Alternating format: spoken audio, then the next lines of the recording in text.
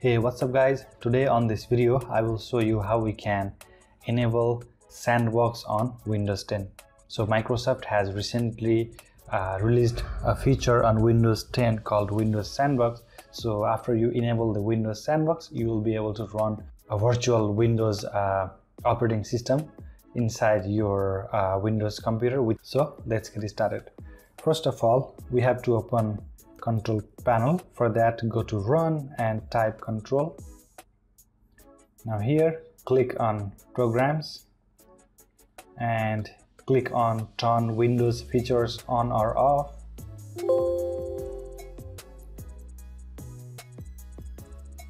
Now scroll down and here in the bottom you can see a windows sandbox. So click here and click ok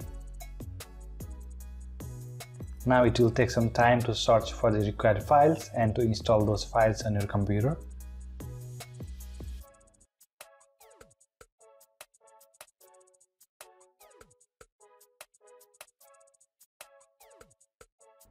So the Windows Sandbox has been enabled. Now we have to restart our computer.